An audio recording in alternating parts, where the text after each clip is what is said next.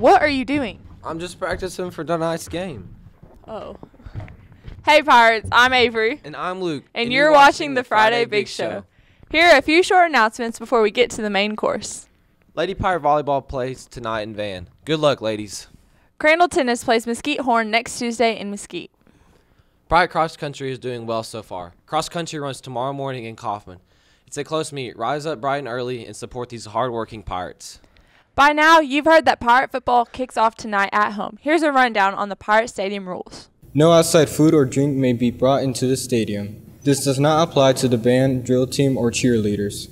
State laws and school district policies prohibit the use of tobacco products in any form, alcoholic beverages, and controlled substances or school district property. Aisles should be kept clear at all times. No loitering will be permitted. Spectators must sit in the stands and keep off the rails. Spectators will not be allowed to leave the stadium and return once the game has started. Bags, backpacks, coolers, etc. are not allowed in the stadium. Umbrellas cannot be used in the seating area, courtesy of fan viewing and safety. Items such as frisbees, balls, whistles, and etc. are not allowed in the stadium. Food, drinks, gum, sunflower seeds, and tobacco are prohibited at all times around or on the field areas. Spectators may not cross the other side of the stadium. Children in grades pre K through 8th grade are not allowed to attend activities without a parent present. Only emergency vehicles may be parked outside the stadium. It's going to be a fun, safe season at Pirate Stadium. See you there. And here's some info about today's pep rally. First off, when we dismiss, uh, we will dismiss by announcements the certain areas of the school that we will dismiss at one time. Freshmen and sophomores, y'all will head down the back hallway uh, to the gym and around the backside to the athletic hallway, and you will enter from that side of the gym juniors and seniors, you will come around the corner and you will go down the trophy case hallway and enter through uh, the side doors on this side of the gym.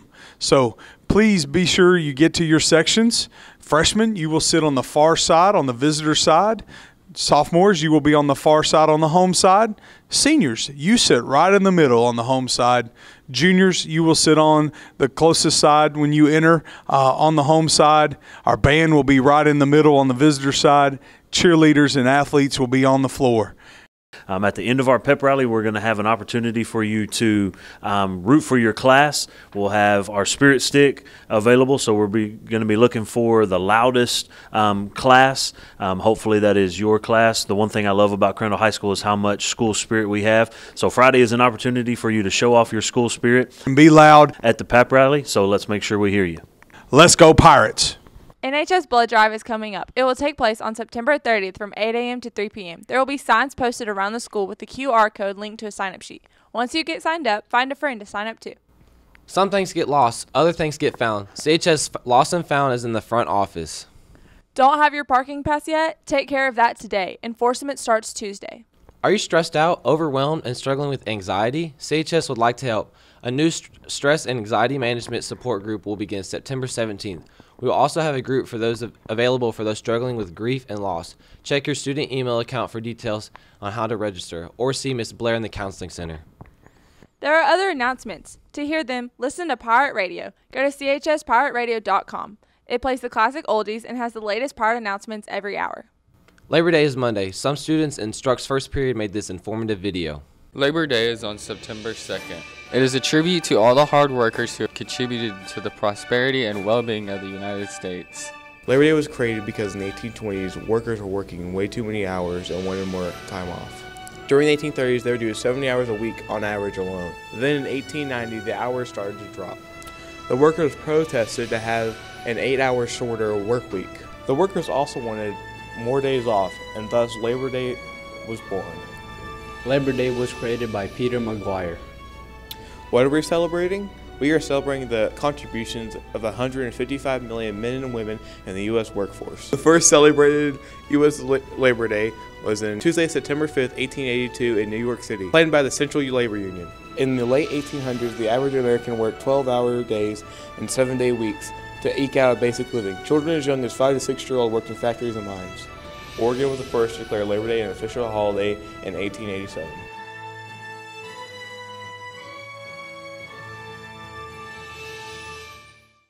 Don't forget, the annual Cotton Fest is being held next Thursday on September 5th. Buy your ride tickets at Inkit and Brookshire Brothers. See you there next week, Pirates. That's all for now. Stay tuned, Pirates. I'm Avery. And I'm Luke. Time, to, sing, along. Pirate TV.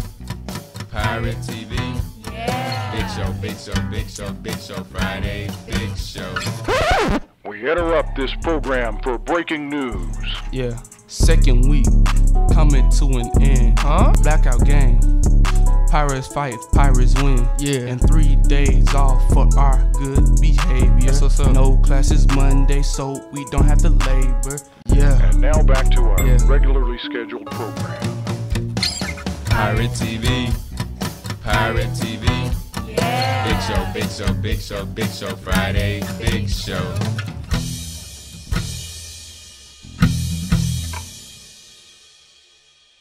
Good morning, Crandall High School. My name's Mama B, Ms. Buller, coming to you from room 108. And I wanted to talk to you a minute about kindness and how our actions define us as people. I want you to zoom in on this picture. This went viral on uh, Facebook not too long ago. Clearly, this young boy right here is having a hard time of it. In fact, he's autistic. He was suffering a meltdown on the first day of school, and this boy on the other side just instinctively went over to him grabbed his hand, and walked him into the school building. This little boy afterwards said that he had tears, but it was tears of joy because he had found a new friend on the first day. You need to make a conscious effort in your life to be kind to each other. We live in a time where people are not kind. There's a lot of things going on that we're afraid of. But go out and seek that one person that needs friendship, that needs happiness in their life, and be that one person that makes it all come true. Mama B. It's a great day to be a pirate, guys. Hmm. I don't feel so good. Allie! Are you okay? My friend, she needs help. She needs help. What she passed out. What she passed out. We were eating and she like drank water and like passed out afterwards. Take her out. Is Take she her gonna out. be okay? She's Take gonna her die. Scalpel. What is that? HOSA, what are you doing in my patient? I'm glad you asked. HOSA provides opportunities for students to make a well-informed career choice among the many health occupations leading to a more realistic career goal. HOSA provides leadership development by developing character and promoting responsible citizenship. Students develop an understanding of current healthcare issues and an awareness of environmental concerns. HOSA is geared to help build student self-esteem. If you're interested in joining HOSA, then there are signs posted along the hallways with a QR code that you can scan with your phone to sign up. Tyler Snell, the old kid.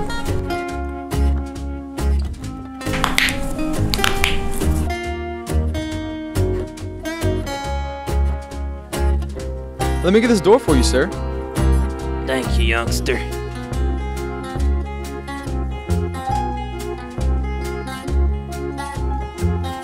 You see, back in my day, kids read books, not on their phones.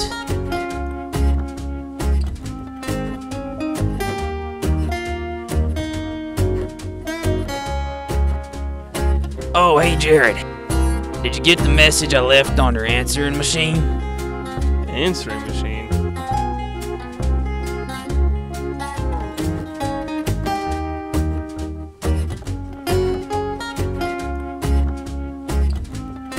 Can you help me work this machine? Yeah, sure.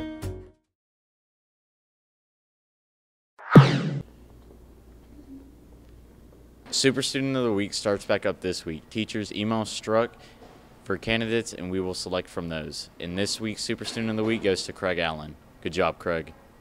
Super student, super student, super student of the week. Um, I'm involved in theater, FFA, and band. What instrument do you play and why? I play saxophone. Um, my sixth grade year, my mom comes home with the saxophones and says, "Hey, play this." So I did. When and why did you join FFA?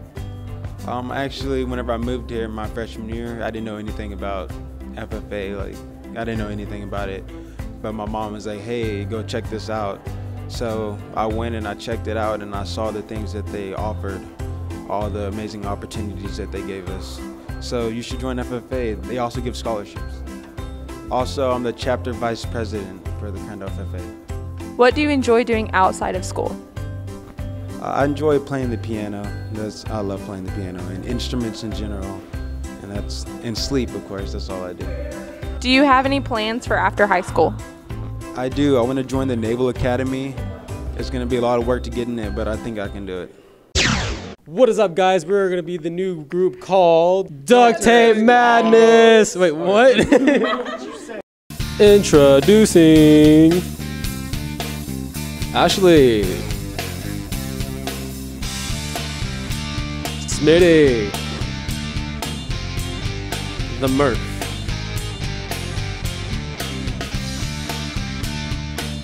oh yeah, Salad Bar, and finally the man, the myth, and the legend, the cameraman. What is up, guys? Welcome to Duct Tape Mania, where we do duct tape hacks. Brought to you by the Jumbo Duct Tape Book. Today's hack is walking on walls. First, you gotta wrap duct tape around your hands and feet, sticky side out. And then, all you gotta do is walk up the walls.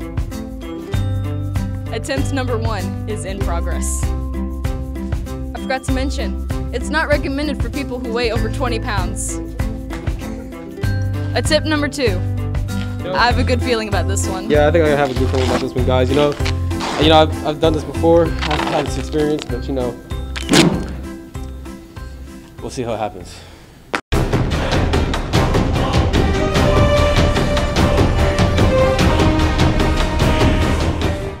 And that is all today for.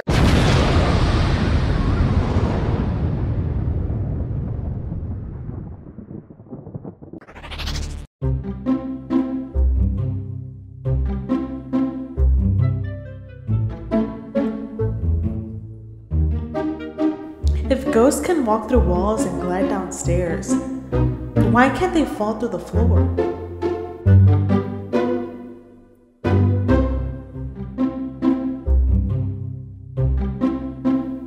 Why do they call it a funny bone? That if when you hit it, it's not funny at all.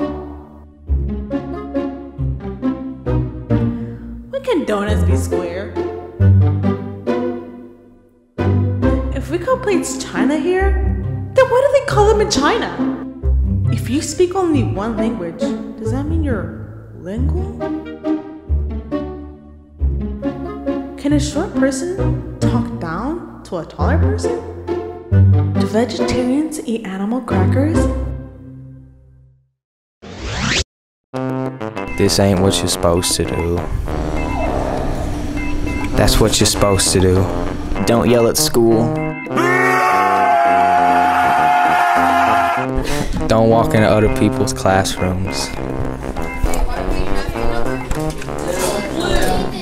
Oh my god. Oh my god. What's up? Don't use your phone in class. Shane. Thank you. Oh! Where'd you get those shoes? The shoe store? Your forehead.